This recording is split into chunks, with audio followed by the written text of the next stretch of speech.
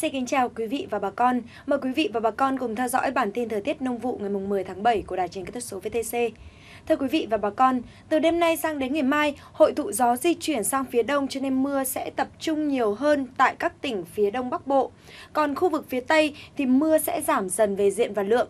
Do có mưa cho nên nhiệt độ cao nhất ngày sẽ phổ biến trong khoảng từ 29 cho đến 32 độ.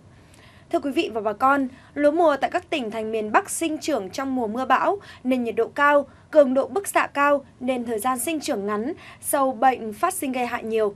Để đảm bảo sản xuất lúa mùa hiệu quả thì bà con nông dân cần quan tâm một số vấn đề như sau. Do thời gian thu hoạch lúa đông xuân đến gieo cấy lúa mùa rất ngắn, rơm dạ chưa kịp phân hủy cho nên lúa mùa dễ ngộ độc hữu cơ. Do vậy bên cạnh việc làm đất sớm, giữ nước trong ruộng thì bà con nên bón trung bình 30 kg vôi bột trong một xào bắc bộ hoặc là sử dụng phân bón hữu cơ vi sinh, các chế phẩm vi sinh phân hủy chất hữu cơ.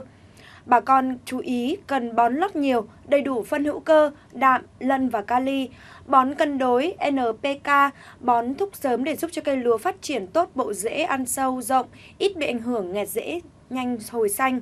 Bón thúc sớm để cây lúa hấp thu dinh dưỡng tốt, sinh trưởng phát triển nhanh và đẻ nhánh sớm. Khi cấy thì bà con chú ý là cấy nông tay để bộ rễ nằm trên mặt ruộng, hạn chế tác hại của ờ, nhiệt độ đất và khí độc sinh ra trong quá trình phân hủy rơm dạ. Cấy sau khi đã ngả ruộng tối thiểu là 7 ngày. Xin được tiếp tục với tình hình thời tiết. Tại các tỉnh từ Thanh Hóa trở vào cho đến Thừa Thiên Huế, mưa rông chỉ xảy ra cục bộ ở khu vực Thanh Hóa và Nghệ An khiến cho nền nhiệt độ giảm nhẹ. Cao nhất ngày chỉ vào khoảng từ 32 cho đến 34 độ. Các tỉnh thành khác phổ biến ít mưa ngày nắng, nhiệt độ trưa chiều từ 33 cho đến 36 độ. Còn tại khu vực từ Đà Nẵng trở vào cho đến Ninh Thuận và Bình Thuận, mưa rông được nhận định sẽ có xu hướng tăng lên diện giải rác từ chiều tối ngày mai do sự thiết lập của rãnh mây rông gây mưa có trục ngang qua khu vực giữa, Trung và Nam Trung Bộ. Ban ngày thì trời nắng và nhiệt độ giao động từ 33 cho đến 36 độ. Đến với các tỉnh miền Nam, do nằm ở rìa phía nam của rãnh mây rông kết hợp với đới gió Tây Nam hoạt động mạnh hơn về cường độ, cho nên mưa rông cũng sẽ tăng lên tại khu vực Tây Nguyên và Nam Bộ. Không loại trừ những điểm có lượng mưa vừa kèm theo lông rông xét, gió giật mạnh, cho nên người dân cần lưu ý cảnh giác. Thưa quý vị và bà con, mùa mưa độ ẩm cao khiến cho lúa ở đồng bằng sông Cửu Long dễ bùng phát dịch bệnh và có chiều hướng ngày càng lây lan trên diện rộng. Trong đó, đáng lưu ý nhất là dày nâu và bệnh đạo ôn hại lúa. Để ngăn chặn sâu bệnh lây lan trên diện rộng, nhất là đối với giày nâu, thì bà con cần bố trí các bẫy đèn tại các điểm tập trung để diệt giày nâu, ngăn chặn di trú.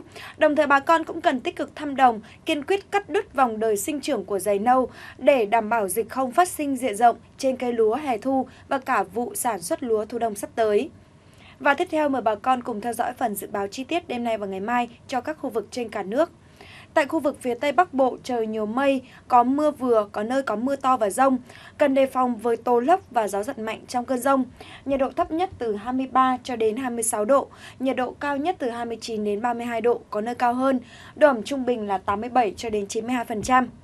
Chuyển sang khu vực phía Đông Bắc Bộ, Tại đây trời nhiều mây, có mưa vừa, có nơi có mưa to đến rất to và rông. Người dân cần đề phòng với tố lốc và gió giật mạnh trong cơn rông.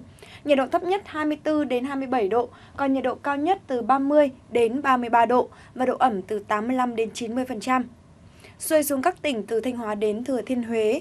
Tại phía Bắc mây thay đổi đến nhiều mây, có mưa rải rác. Phía Nam có mưa vài nơi, ban ngày trời nắng và có nơi có nắng nóng. Gió Tây Nam mạnh cấp 2, cấp 3, nhiệt độ thấp nhất 25 đến 28 độ, còn nhiệt độ cao nhất từ 33 đến 36 độ. Độ ẩm trung bình từ 75 cho đến 80%. Khu vực ven biển từ Đà Nẵng đến Bình Thuận mây thay đổi, ngày nắng, có nơi có nắng nóng, chiều tối có mưa rào và rông vài nơi. Riêng phía Nam khu vực, chiều tối mai sẽ có mưa rào rải rác và có nơi có rông. Gió Tây Nam mạnh cấp 2, cấp 3, nhiệt độ thấp nhất 25 đến 28 độ, nhiệt độ cao nhất là từ 33 đến 36 độ và độ ẩm từ 80 đến 85%. Vùng cao Tây Nguyên mây thay đổi đến nhiều mây, ngày nắng, chiều tối có mưa rào rải rác và có nơi có rông. Gió Tây Nam mạnh cấp 2, cấp 3, nhiệt độ thấp nhất 21 cho đến 24 độ, nhiệt độ cao nhất 29 đến 32 độ, có nơi cao hơn, độ ẩm từ 85 đến 90%. Khu vực Nam Bộ mây thay đổi đến nhiều mây, ngày nắng, chiều tối có mưa rào rải rác và có nơi có rông, gió Tây Nam mạnh cấp 2, cấp 3, nhiệt độ thấp nhất 25 đến 28 độ, nhiệt độ cao nhất là từ 30 cho đến 33 độ, có nơi cao hơn, độ ẩm trung bình từ 86 đến 91%. Bản tin thời tiết nông vụ ngày hôm nay xin được khép lại tại đây. Xin kính chào tạm biệt và hẹn gặp lại quý vị và bà con trong các bản tin tiếp theo.